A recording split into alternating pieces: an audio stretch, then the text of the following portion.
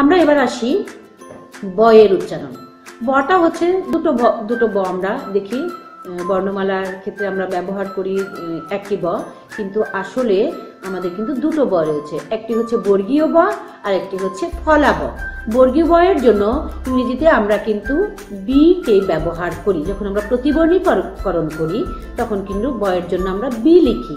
কিন্তু যখন আরেকটা ব আসছে, ফলা ব সেই ফলাবটা উচ্চারণ হয় না অনেক ক্ষেত্রে এবং সেই ফলাবয়ের জন্য আমরা ইংরেজিতে ডব্লিউ কে ব্যবহার করি এবং আরবিতে আমরা ওয়া কে ব্যবহার করি, ওয়ার মতো, অশ্রুতি বশ্রুতি যাকে বলে। তো সেই ক্ষেত্রে এই ফলাব যখন অন্য ব্যঞ্জন বর্ণের সাথে যুক্ত হয়, তারও কিন্তু শব্দের শুরুতে বসলে উচ্চারণ হয় না, কিন্তু উচ্চারণটা একটু ঠেসে বা একটু ধাক্কা দিয়ে বা জোর দিয়ে উচ্চারণ করতে হয়। যেমন সন্দেশ আর স্বদেশ। দুটোর উচ্চারণ কিন্তু একরকম নয়। স্বাধীনতা তুমি। সেক্ষেত্রে আমরা দেখছি যে শয়ের ঘাড়ে একটা ব থাকার কারণে শয়ের উচ্চারণটাকে আমরা ঠেসে বা একটু জোর দিয়ে উচ্চারণ করছি। স্বাধীনতা তুমি। কেউ যদি বলে স্বাধীনতা তুমি, তাহলে কিন্তু উচ্চারণটা হচ্ছে না। উচ্চারণ হবে স্বাধীনতা। অর্থাৎ স্বর উপরে আমরা একটা বকে চাপিয়ে দিয়েছি শয়ের সাথে।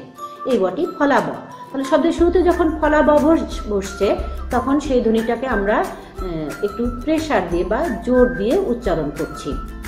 আর যখন এই বটি শব্দের মাঝে বা শেষে বসছে অন্য ব্যঞ্জনের সাথে, তখন সেই ব্যঞ্জনটিকে আমরা দ্বৈত উচ্চারণ করছি, যেমন বিশ্বাস।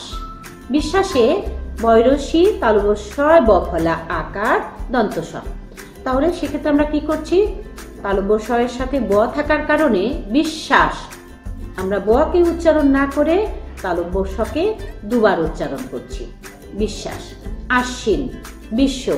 বটা যদি এই বটা যদি না থাকে তাহলে বিশ্বই তো থাকবে না তাই না? তো সেক্ষেত্রে আমরা বিশ্ব দুবার উচ্চারণ করছি সেই ধ্বনিটিকে কিন্তু বকে উচ্চারণ করছি না।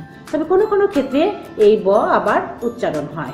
যেমন আমরা যদি বয়ের সাথে ব যুক্ত করি আব্বা হুম, সেক্ষেত্রে ময়ের সাথে যদি ব উচ্চারণ করি হাম্বা তো সেক্ষেত্রে আমরা আমরা বকে উচ্চারণ করি।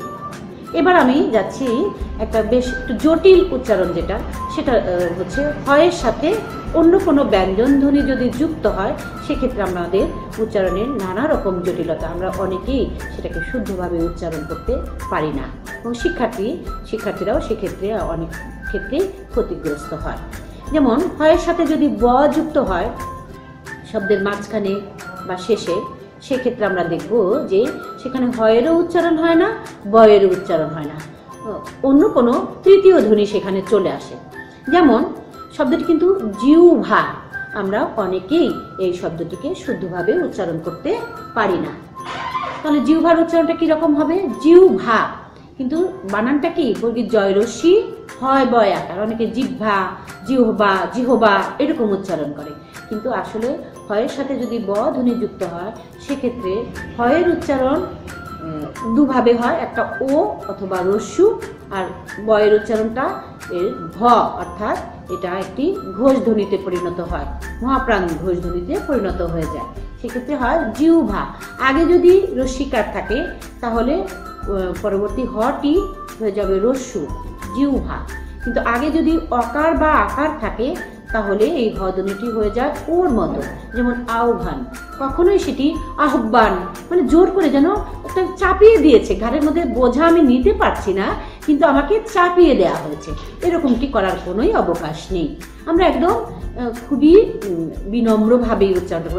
আহ্বান আহ্বান একদম পোলাইটলি যেটাকে বলা হয়। অর্থাৎ খুবই উম, উচ্চারণে তো জোর দেওয়ার কিছু নেই। জোর করে আমি আগে বলেছি জোর করে চাপিয়ে দিলে সেটা কৃত্রিমতা হয়ে যাবে। আমি স্বাভাবিকভাবে উচ্চারণ করব। তাহলে এটা হয়ে যাবে আহ্বান। বিউভল তো এই শব্দগুলো তাহলে হয়ের সাথে ব যোগ হলে উচ্চারণটা এভাবে করতে হবে। হয়ের সাথে যদি রফলা বা রিকার যুক্ত হয়, সেক্ষেত্রে ওই রফলা বা রিয়ের উচ্চারণটা আগে হবে, হয়ের উচ্চারণটা পরবর্তীতে হবে। যেমন আমরা যদি হয়ের ফলা আকার দন্ত স, সেটাকে আমরা অনেক ক্ষেত্রেই বিকৃত উচ্চারণ করি, হ্রাস। হ্রাস মানে কি যে করতে চাই আমরা অনেক সময় নিজেরাই বুঝি না, তাই না? তো সেক্ষেত্রে আমরা সেটা দেখব যে ওই র ধ্বনিটি, র ফলার যে পূর্ণরূপ বৈষণ্য বৈষণ্য রয়ের তিনটি রূপ, বৈষণ্য নিজে আর একটা হচ্ছে রফলা আর একটা হচ্ছে রেপ। তিনটির ব্যবহার তোমরা নিশ্চয়ই জানো, এটি হচ্ছে কোমল র অর্থাৎ এটা একদম স্বাভাবিক উচ্চারণ।